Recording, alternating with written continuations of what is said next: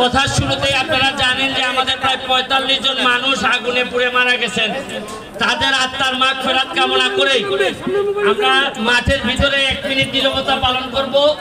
আর আজকে আমি অনেক আবেগ আপ্লুত যে আমি আশা করিনি যে ফেনীর মানুষরা এত অতিথি পরায়ণ হবে। আমি বিশেষ করে ফেনীর এমপি মহোদয়, নিজাম হাজারি মহোদয় তার বাড়িতে যেভাবে আমাদেরকে খাইতে দিলেন আমার মনে হয় না আর কোন এমপি আমাদেরকে এইভাবে খাওয়াইছে না।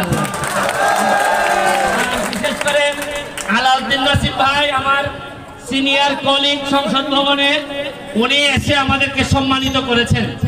আর যার কথা না বললেই নয় ফেনীর ইকবাল বাহার ভাই একটি বলার মতো গল্প। ইকবাল বাহার ভাই যা করছেন এই যে আমার সিলেটে গিয়ে টিম ম্যানেজ করে আজকে যে একটা খেলার আয়োজন করছেন, এই জন্য আমি ব্যক্তিগত পক্ষ থেকে, আমার এলাকার পক্ষ থেকে, আমার একাডেমির পক্ষ থেকে আমি ইকবাল বাহার ভাই এবং একটি বলার মতো গল্প ফাউন্ডেশনের যারা সংশ্লিষ্ট আছেন, সবাইকে আমি শুভেচ্ছা এবং অভিনন্দন জানাই। আর আমি একটা কথা বলি, শুনেন, আমরা কিন্তু আপনাদেরকে হারাইতে আসি নাই। আজকে কিন্তু উপরে আল্লাহ আর নিচে ফেনীর মানুষ ছাড়া আমাদের কোনো গার্জিয়ান নাই। আমি আমি ফেনীর অনেক সবলতা বা অনেক স্ট্রং জিনিসের ব্যাপারে আমার জানা আছে আবার ফেনীর মানুষের একটা দুর্বলতা আমার জানা আছে। ফেনীর মানুষদের দুর্বলতা হচ্ছে গিয়ে কোনোভাবে যদি ফেনীর মানুষের মনে ঢুকা যায় তাহলে নাকি ফেনীর মানুষরা অতিথিদের জন্য জীবন দিয়ে দেয়। এটা আমার একটা সুতরাং আমার বিশ্বাস আপনাদের দলের পাশাপাশি আমাদের দলের জন্য আপনাদের সাপোর্ট থাকবে।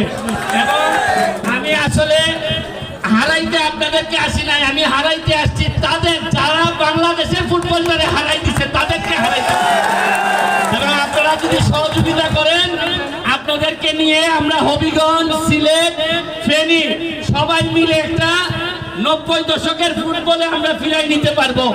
আমি আপনাদের কাছে সাহায্য চাই, আর সিলেটের বন্যায় আপনারা ফেনীর মানুষরা আমাদেরকে যেভাবে সহযোগিতা করছেন এইটারও কৃতজ্ঞতা জানাইতে আপনাদের কাছে আসছি। এবং কথা দিয়ে যাচ্ছি, আপনারাও যদি কখনো প্রাকৃতিক দুর্যোগে পড়েন, আমরাও সিলেটের মানুষরা আপনাদের এখানে ঝাঁপাই পড়ব, এই কথা দিতে আপনাদের কাছে আসছি। আর আরেকটা জিনিস, ফেনী সম্পর্কে আমার ধারণা ছিল না, জীবনে প্রথম আজকে ফেনীতে আসছি। আপনাদের বিল্ডিং এর সাইজ দেখে আমার মনে হয়েছে, ফেনীর মানুষের সাইজ মনের সাইজ কত বড় হবে। আজকে আমার এমপি মহোদয়কে বললাম যে ফেনীরে কে এই শহর এই জেলা সদর বানায় রাখছে? এটারে আপনারা সিটি কর্পোরেশন বানাচ্ছেন না কেন? কারণ সিটি কর্পোরেশনের সব যোগ্যতা এই ফেনী সদরের আছে। আমি আশা করি এটাকেও সামনের দিকে এগিয়ে নিয়ে যাবেন। আর আপনাদের সাথে আত্মীয়তা করতে আসছি যে আমাদের সিলেটের লোকজন এদিকে আসেন না, চলে যান লন্ডন, আমেরিকা। কিন্তু আমি হয়তো পড়াশোনা করার কারণে আমার ফেনীতেও আসার সৌভাগ্য হয়েছে।